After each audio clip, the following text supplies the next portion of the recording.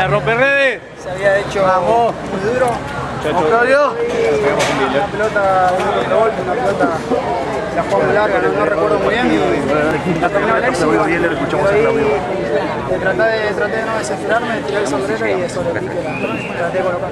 Pero vos viste que él te venía fuerte a bloquear el, el tiro de zurda, por eso es que le amagaste y le tiraste el sombrero. Sí, sí, vi que, vi que me iba a cruzar, me iba a tapar el arco y bueno, traté de tirársela por arriba, salió y después bueno, traté de no desesperarme en el segundo toque. A partir de ahí, Claudio, ¿crees que se les abre el partido, lo empezaron a manejar mejor, que con ese gol se tranquilizaron?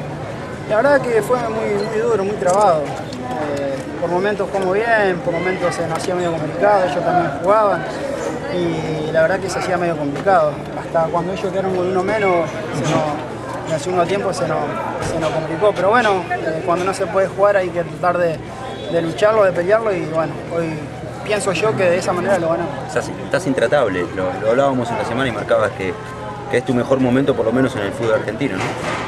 Sí, la verdad, como ustedes saben, me he pasado por distintos clubes acá en Argentina y no me ha ido bien. Eh, Creo que la tercera, sacando lo de Rafaela, ¿no? Eh, creo que la tercera fue la vencida, elegí bien y eh, si bien en, los- primeros 15, 16 fechas no encontrábamos la vuelta, ahora se está dando y bueno, hay que seguir, luchando y tratar de llegar a la final. Taca, el hincha se ilusiona, pero también pide justamente por la continuidad de ustedes, por la continuidad de Saba. Digo, eso me parece que también es una cuestión ya para ir pensando, ¿no?